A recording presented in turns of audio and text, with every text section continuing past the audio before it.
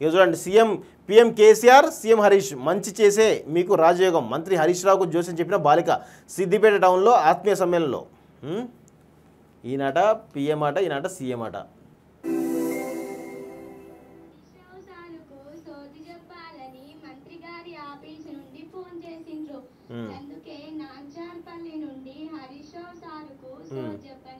సోది చెప్పాలని ఉన్నది ఉన్నట్టు చెప్తాను లేనిది లేనట్టు చెప్తాను. పలుకమ్మ పలుకు. కంచి కామాక్షి పలుకు మధుర మీనాక్షి పలుకు కాశీ విశాలాక్షి పలుకు. సోది చెప్తుందట ఇవే ఆ సోదికి కోసం తిరుగుతూ మాత్రం అశ్రద్ధ చేయకే తండ్రి. నా నోరు సత్తమునే పలుకునే తండ్రి. నా మాట తప్పదే తండ్రి. దేశానికి మన కేసీఆర్ సారు పిఎం కావాలనుకుంటే మ్మ్.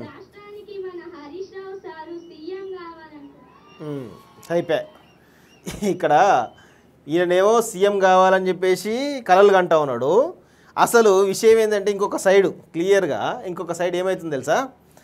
ఇక్కడ మెదక్లో ఈ ఈయన వర్గం ఎవరైతే ఎమ్మెల్యే ఉన్నారో ఆమె పేరు ఏదో ఉంటుంది. ఆమె మెదక్. ఇక్కడ ఎవరు మైనంపల్లి హనుమంతరావు వాళ్ళ కొడుకు మైనంపల్లి రోహిత్ను ఉసిగొలుపుతూ ఉన్నారు. ఇది కథ.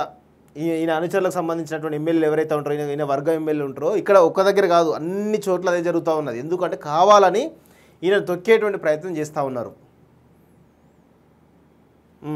సో ఇది మొత్తానికైతే హరీష్ రావుకు చెక్ పెట్టేటువంటి ఒక ఆలోచన పెద్ద ఎత్తున పెద్ద కార్యాచరణ పెద్ద ఎత్తున జరుగుతూ ఉంది బీఆర్ఎస్ పార్టీలో. ఇది clear cut indication. Padma Reddy ఉంది కదా? ఆ ఎమ్మెల్యే పద్మాదేవంత రెడ్డి సంబంధించిన కాన్స్టెన్సీ ఏదైతుందో ఆ కాన్స్టెన్సీలో మైనంపల్లి రోహిత్ తేలి పెడతా ఉన్నాడు. ఎవరు? మైనంపల్లి హనుమంతరావు వాళ్ళ కొడుకు. ఆడ పెద్ద ఎత్తున వాళ్ళిద్దరి మధ్య పెద్ద ఎత్తున జరుగుతూ ఉంది. ఆ క్రమంలోనే అక్కడ శేర్ సుభాష్ రెడ్డి ఉన్నారు మిగతా వాళ్ళు ఉన్నారు. వీళ్ళందరినీ కాదని మైనంపల్లి రోహిత్ని అక్కడ ఎంకరేజ్ చేసేటువంటి ప్రయత్నం చేస్తున్నారు. ఇక్కడ పార్టీ అధిష్టానం ఆదేశాలు లేకుండా మైనంపల్లి రోహిత్ అనే వ్యక్తి అక్కడ ఎందుకు ఎంటర్ అవుతాడు అంటే ఆడ ఖచ్చితంగా హరీష్ రావు వర్గం ఎవరు? పద్మాదేవేందర్ రెడ్డి హరీష్ రావు వర్గం. ఆ హరీష్ రావు వర్గం కాబట్టి ఆమెను తొక్కాలనేటువంటి ఒక ప్రయత్నంలో మైనంపల్లి సంబంధించిన వాళ్ళ కొడుకు ఎవరైతే ఉన్నారో మైనంపల్లి హనుమంతరావు వాళ్ళ కొడుకు మైనంపల్లి రోహిత్ను అక్కడ తీసుకుపోయి హల్చల్ చేస్తూ నాకు ఎమ్మెల్యే టికెట్ నాదే నెక్స్ట్ టైము నేనే పోటీ చేస్తా అని చెప్పి అక్కడ క్యాడర్ మొత్తం చేసి నిర్మిస్తూ ఉన్నారు.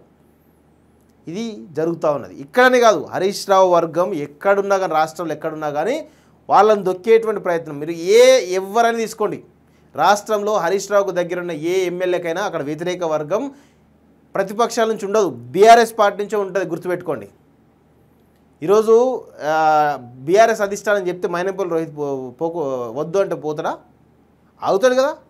అంటే ఇదంతా కూడా ఒక కాన్స్పరసీ ఖచ్చితంగా ఒక పెద్ద ఎత్తున కుట్ర జరుగుతూ ఉంది హరీష్ రావు పైన.